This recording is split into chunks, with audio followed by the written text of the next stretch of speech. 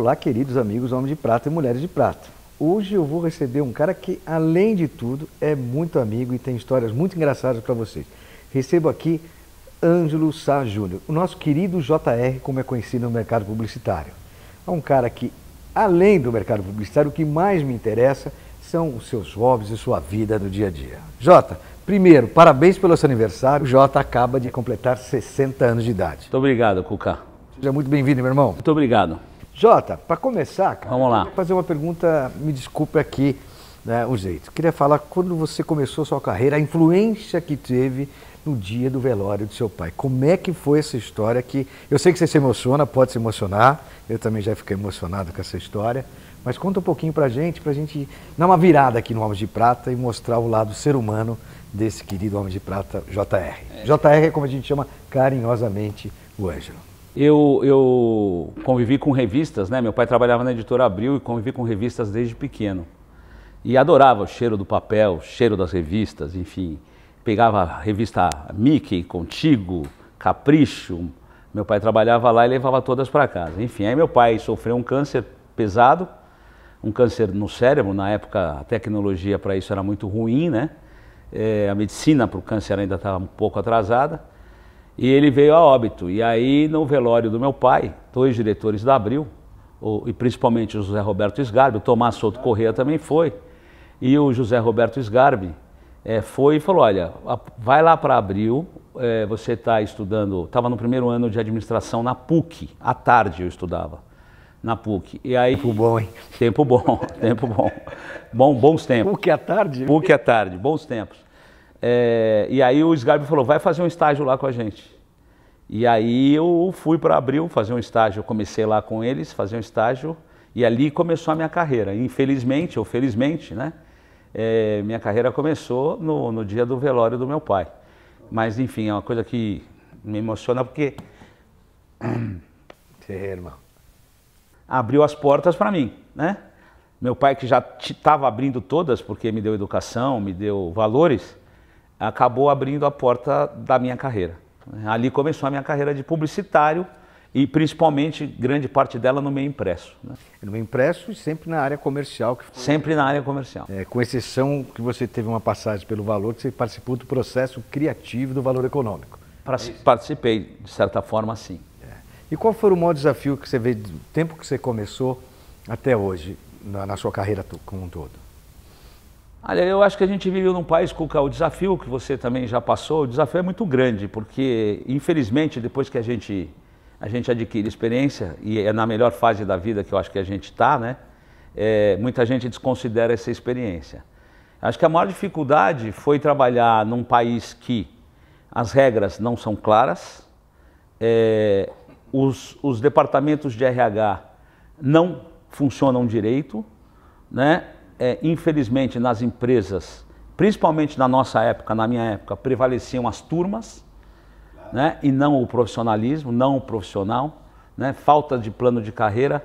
Eu acho que o desafio foi essa estrutura toda que emocionalmente deixa muita marca e deixou mu- muita marca boa e ruim eh, em gente da nossa geração, principalmente no ramo que a gente atuava, porque, enfim, você acho que deve ter sofrido isso, bullying, eu vi muita coisa. Mas resumindo, o legado é extremamente positivo, mas acho que a grande dificuldade foi a falta de uma estrutura e de uma base melhor de todas essas, de todas essas coisas aí que eu citei. E como é que você vê hoje o marketing e a comunicação nos dias de hoje, essa transformação toda?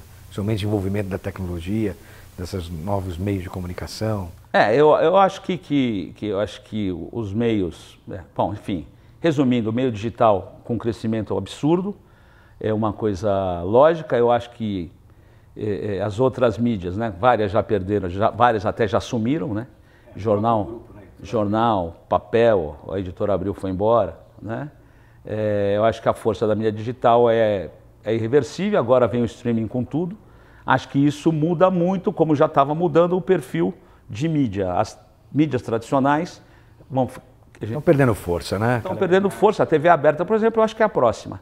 Vai demorar, porque o Brasil ainda é um país muito pobre, de dimensão continental. Fora dos grandes centros ainda depende da TV aberta. A internet não chega em todos os cantos.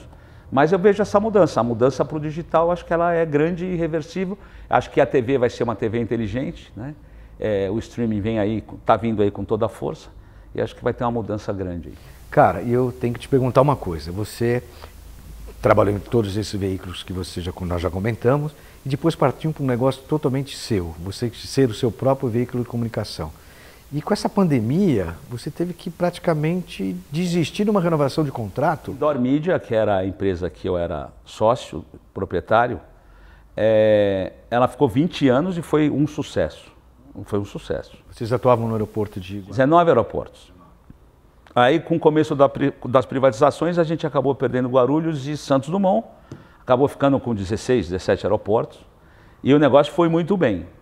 Só que, é, quando veio a pandemia, é, que foi março do ano passado, né, é, a gente estava programado para fechar a empresa em dezembro do ano passado. Por que a gente ia fechar? O meu negócio era um negócio, o negócio de mídia exterior era um negócio de pequeno e médio empresário começou a virar um negócio de grandes empresas, fundos. E na hora que esse mercado tem essa mudança de perfil, começa uma consolidação, se você vai brigar com esses caras, ou você se associa a um fundo, tá? ou você vai perder o seu dinheiro. Então a nossa opção foi 20 anos de sucesso e fechar na hora certa. Né? Foi um sofrimento do cão, porque é, fechar uma empresa depois de 20 anos né, e demitir gente, é, 28 caras que trabalhavam com a gente. Mas foi uma empresa que bateu um faturamento, uma pequena empresa, em 20 anos de 600 milhões de reais. Parabéns, não é, não é fácil, é um case de sucesso. Eu não estou falando de lucro líquido, né? Mas isso é perseverança, entendimento de mercado, oportunidade. É uma coisa, inclusive, você, há 20 anos, hoje você já é um homem de prata, mas você já estava começando a ser um homem de prata, lá se preparando uma. É, comecei essa empresa com 40 anos, basicamente 40 anos. 40 Dentro disso, expectativa ou realidade? O que, que você prefere, prefere administrar? Realidade. Realidade. E você encara isso como realidade, né? E, e você prefere ser feliz ou ter razão? Ser feliz. Admitir ou demitir? Admitir. Eu nunca soube demitir. Eu quero só aproveitar a oportunidade aqui desse programa para dizer assim, a demissão é uma coisa séria que mexe com o emocional de uma família toda. Claro, claro. E no Brasil, às vezes, ela é tratada de forma banal. Eu fechei a agência em 2017. Como é duro tomar essa decisão e você ter que tinha 32 funcionários e você demitir todo mundo. Era uma louco. Muito difícil. Vamos falar antes de, de hobbies, que eu quero falar um pouco de hobbies. Você torce para que time?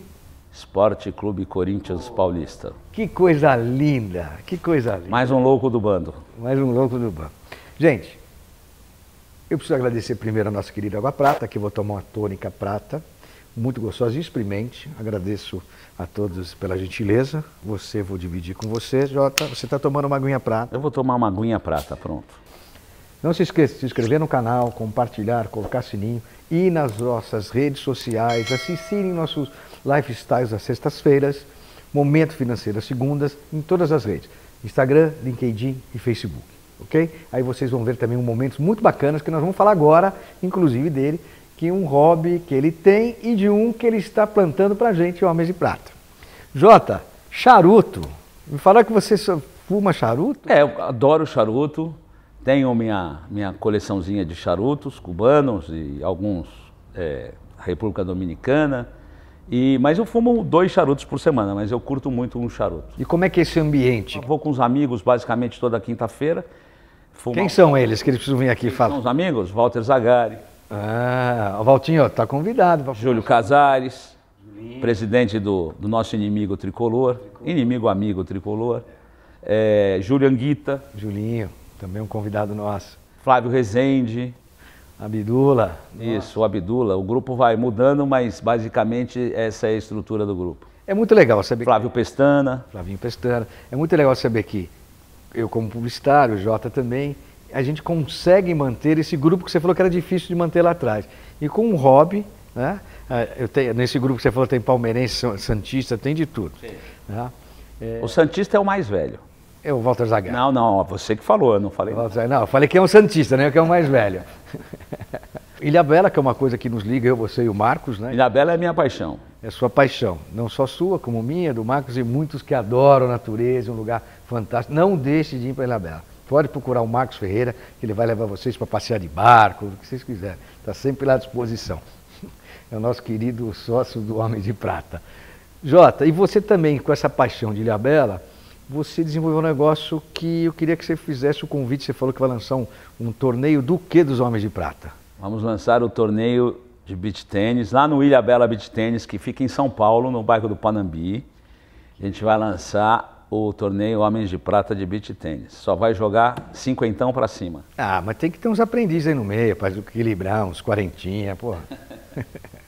mas eu, eu, como a gente acabou de inaugurar o Ilha Bela Beach Tênis, é, aqui em São Paulo, no bairro do Panambi, uma estrutura, enfim, a gente fez um ambiente que lembra, logicamente, uma praia, até uma homenagem à Ilha Bela, com cores de Ilha Bela, quem vai para Ilha Bela sabe que Ilha Bela tem a sua cor. Tem, é lindo, é lindo. Tem a sua cor, é, tem a sua cor do mar, tem a sua cor do céu e tem a sua cor até das casas, né? Aquele amarelão forte ou um azulão colonial, enfim, né? Quem conhece Ilha Bela sabe que ela tem uma cor, a gente preservou as cores todas de Ilha Bela e fez um ambiente muito legal, bar, restaurante e quadra de beach tênis. Legal, estão todos convidados, mulheres e homens de prata. Pode procurar o JR, que é desconto para tudo. Aula e locação. É só você falar que é do Homem de Prata, assistiu que tem um descontinho. Quando eu ia para Ilhabela, Cuca, Ilhabela tinha uma rua asfaltada, aliás, nenhuma rua de, asfaltada e nem de pedregulho, e tinha só um restaurante chamado Max. Comecei a ir para Ilhabela nessa idade, me apaixonei, amor à primeira vista. Nós gravamos dois episódios em Ilhabela de comemoração. Legal. Assista, se você não viu, volta lá atrás, é o, o episódio 99 e o episódio número 100. Acompanhe. Agora vamos falar um pouquinho de longevidade. Você acaba de completar ontem 60 anos. Como é que você faz esse teu plano pensando em longevidade e quantos anos você acha que vai ficar nessa tocada? Vamos lá, eu acho assim, ó, é, é uma inspiração para mim. O Roberto Marinho fez a Globo aos 60 anos. Ah, nós estamos começando Homens de Prata. É, com... O Roberto Marinho fez e eu lancei uma empresa esse ano nova, né? Eu fechei a minha e esse ano eu fiz a a ID Negócios de Mídia. Então eu vejo a, a, a longevidade, eu acho que para a gente atingir, né, é importante ter ocupação, trabalho, importante cuidar do físico e do emocional. E a família, como é que você curte a sua família nesse meio tempo? Os momentos que vocês têm sozinha, como é que vocês conseguem dividir esses hobbies e os momentos íntimos? Primeiro que família para mim é tudo, né? muito importante. É, também quando eu falo da família, me emociona um pouco. É, eu percebo. Calma, não. Calmão. Toma uma aguinha prata aí que dá uma calmadinha. Ah, a gente curte restaurantes, né? Vai churrasquear. Eu tenho uma casa no interior de São Paulo, na gloriosa Itapetininga. A gente faz, ou, ou na ilha, a gente se encontra, faz churrasco, fica batendo um papo né, procuro fazer alguma outra atividade. Quando infelizmente eu sou um homem de prata muito ocupado, às vezes não sobra tempo. Eu gostaria de ter mais tempo para ver todo todo mundo. Mas a gente curte os momentos aí fazendo algumas coisas em conjunto. Você pedala com eles também ou não? Às vezes pedalo, mas eu pedalo, pedalo, eu pedalo mais até sozinho, porque a, a minha esposa anda de speed e eu ando de mountain bike. Ah, que bacana. Você hoje é casado com? Com a Érica. E você tem quantos filhos? Com a Érica, um Maria Clara e do primeiro casamento, dois, o Bruno e a Bárbara. Legal, que família linda. Família linda, graças a Deus. Bom, então o churrasco Itapetininga, o beach tênis lá no Morumbi, né? Tem mais alguma coisa, Marcão, que a gente E na Bela, na casa dele, que ele falou que vai fazer um churrasquinho. Ah, a gente faz várias coisas juntos, a gente se encontra, bate papo, enfim. O que dá para fazer, faz. O tempo só que é escasso. Até porque eu me envolvi num novo negócio. Para o Homem de Prata aqui ficar bem bem rejuvenescido. E o que você vê no futuro da sua carreira?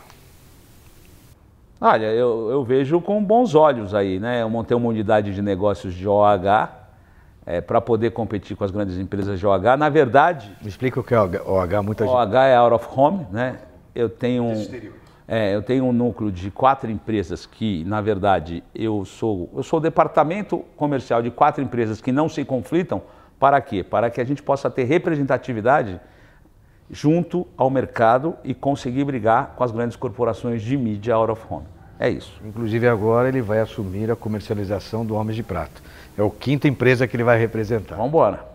Tá? O que você poderia deixar de colaboração pelo seu conhecimento para os homens de prata? Assim? Poxa, isso é uma coisa que eu consigo dividir, quero dividir com os homens de prata. Ah, acho que o que eu quero dividir com os homens de prata é assim, olha, é... não procure emprego, procure trabalho, é... faça atividade física, né? cuide da alimentação, importantíssimo. É, tá certo. Bons vinhos? Bons vinhos, né? É, em menor quantidade, maior qualidade, né? mas bons vinhos e sempre, né? Ah, eu acho que é isso. E, e, felicidade, né? E felicidade. E eu acho que felicidade tem a ver com trabalho e família, né? É verdade. Acho que é isso. Agora me fala uma, qual o maior mico que você passou? Sim, eu passei tantos. É, seleciona aqueles 900, uns dois assim que você... O maior mico que eu já passei. Pessoal e, e profissional. Profissional, vou contar um maravilhoso. É, eu tenho um grande ídolo chamado Domingo Alzugaray. Alzugaray, nossa. Domingo Alzugaray foi o, o, um dos criadores da Veja e da Abril, né? junto com a família Tivita. Ele era o diretor comercial da Veja, quando a Veja foi lançada. E depois ele, aos 40 e 45 anos também, já... Quase um homem de prata. Quase um homem de prata, ele lançou a Editora 3. É, isso foi um marco incrível na comunicação. Que chama Editora 3 porque eram três caras. Fabrício Fazano, pai, Domingo Azugaray e Luiz Carta. Então, mas o, o Azugaray que era o, o, grande cara. Sim, e aí eu tô no corredor da Isto É, Isto É era na Lapa de Baixo, tinha um corredor enorme assim, grande. Eu lembro, já. E estou conversando com o diretor de redação, Hélio Campos Melo, muito amigo meu tal, gosto muito dele, aliás. E o Domingo Alzugar, eu estou falando pro, eu falei, Hélio, onde você está indo, né? Ele falou assim, ah, eu vou sair com o Domingo porque tinha muito processo contra a revista, nós vamos responder um processo em algum lugar tal. E eu falei para ele assim, sabe o que eu desejo? Que você e esse filho desse argentino, vocês fiquem presos, nem cigarro eu vou levar. Aí eu sinto um dedinho me cutucando atrás, assim. Era ele. Tan, tan. Quem é o filho do argentino? Eu falei, eu? Eu? Você é argentino? Eu. Você é argentino agora? Ele falou, eu falei, acabei de virar. Saí, fui para minha sala. horrível, horrível. que legal. E me fala uma coisa, o que você não quer?